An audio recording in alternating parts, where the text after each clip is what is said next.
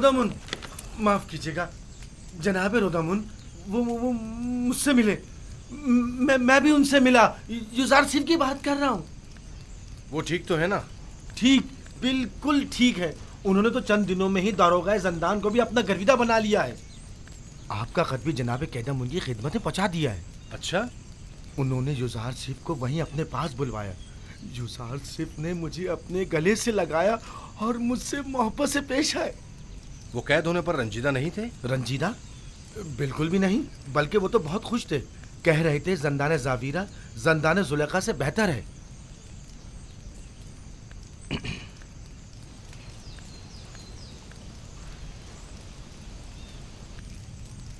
गालिबन कारी मामा को मुझसे कुछ काम है। नहीं बस युजा सिफ के बारे में पूछना था सो जवाब मिल गया।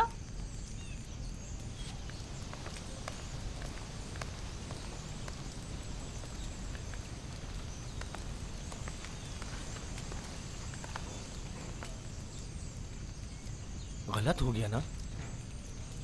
इतना भी नहीं। फ़िक्र मत करो। अब ये जाकर बानो जुलेखा को सब कुछ बताएगी। और तब बानो का गुस्सा काबिल दीत होगा। जंदान जावीरा जंदान जुलेखा से बेहतर। मैं जंदान जावीरा को तुम्हारे लिए जहन्नुम बना दूँगी। ताकि तुम हर रोज हज़ार बार जुलेखा के अस्तबल में ज़िंदगी गुजारने की आरज़ू करो। तुम्हें दिखा दूँगी देख लेंगे। लिखो। अब मेरा ये कसे जंदान जाविया से भी बदतर हो गया। अब मेरा ये नहीं अहमक ये मत लिखो। माफ़ी चाहती हूँ बानो लिखो। लिखो कि युजासी को जंदान में इसलिए डाला गया ताकि वो तायब होकर मेरी अतात करे। वो गुलाम जो अपने अरबाब इख्तियार की अतात ना करे, उसे इतनी सख्त अजियतें और सहूबतें मिलनी चाहिए कि वो आइंदा फिर कभी हुक्म दूली की ज़रूरत न कर सके। सिर्फ़ जंदान और शिकंजों से तभी निजात पा सकता है जब मेरी अतात करने पर राज़ी हो जाए। ये युजासिफ पर वासी कर दिया जाए।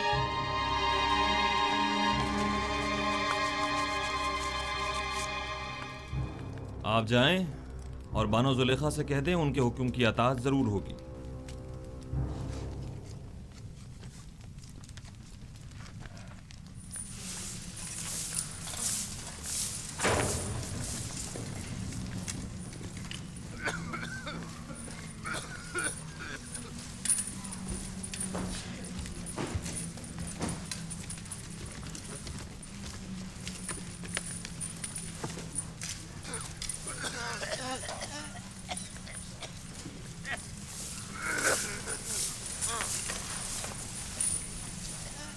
user sig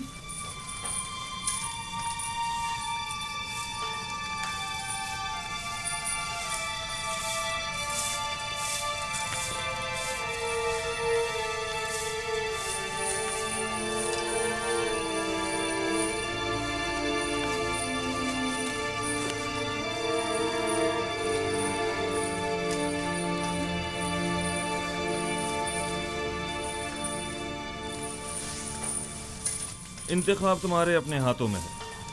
तुम चाहो तो यहाँ से रिहाई पा सकते हो। बस बानो जुलेखा को मेरा इतना लिख देना ही काफ़ी होगा।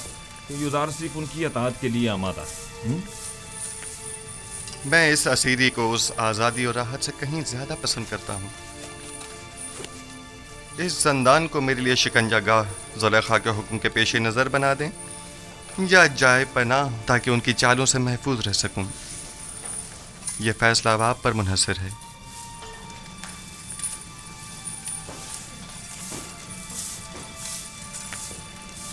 मेरी हतुल मकदूर कोशिश होगी कि जुलेखा के हुक्म पर अमल दरामद न करो।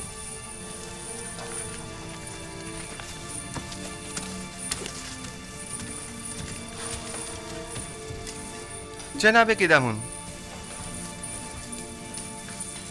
क्या मैं आपसे एक दरख्वास्त कर सकता हूँ? कहो। हम कैद खाने के इस माहौल को तो अपने कैदियों की मदद से साफ़ सुथरा कर सकते हैं लेकिन उनके फटे पुराने लिबास की तब्दीली हमारे दस्तरस से बाहर है।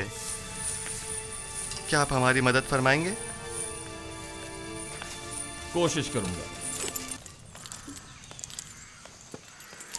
आप उपेश जनाब फरमा रवा के खानसामा को कहीं देखा तो नहीं है आपने?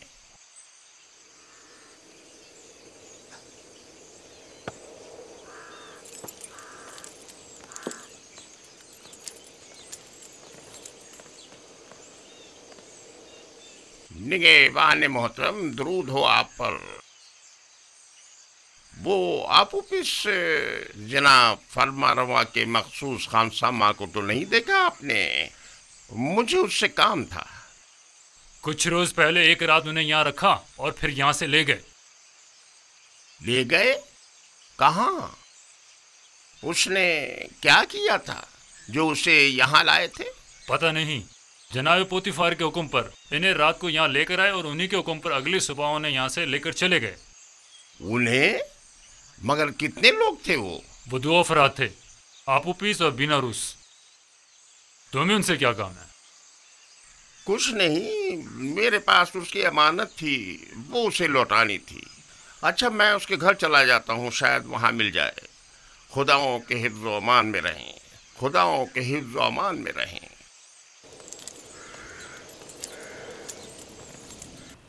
खुदा की लानत हो उन पर। लानत हो। दो माह होने को आए हैं, लेकिन उनकी कोई खबर नहीं। बस अपने काम से मतलब था। अब हमसे क्या मतलब? जरा ख्याल नहीं, किसी अहमक से कुछ तय भी किया था, जिसने अपनी और अपने बीवी बच्चों की जान महज उनकी खातिर मुश्किल में डाल दी। अब उस पर क्या कयामत टूट गई? उन्हें अब उससे क्या मतलब? आखिर तुम उन खबीसों का नाम बता क्यों नहीं देते? जब उन जलीलो पस्त लोगों को अपने वादे का लिहाज नहीं तो तुम लिहाज क्यों करते हो? अब जब तुम मुसीबत में हो तो वो सब में क्यों रहे?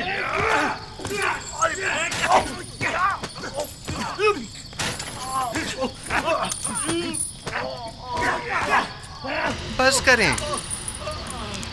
क्या हो गया आप लोगों को?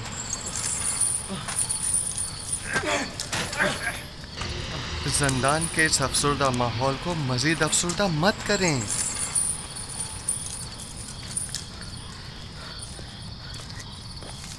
हम दोनों वो अहमक हैं, जो जनाब आमून होता फरमा रवाए मिस्र को मारने चले थे। ये सोचे समझे बगैर कि वो खुद खुदाओं में से एक है और इतनी आसानी से मारे नहीं जा सकते। ये दो माह होने को आए लेकिन अब तक उनमें से कोई हमारी खबर गिरी को नहीं आया। और ये अहमक ये अहमक अब भी अपने शहरी के जुम्म साथियों के साथ वफादार है और अब भी उनके नाम बताने को तैयार नहीं, ताकि हम इस कैदोबंद से निजात पा सकें।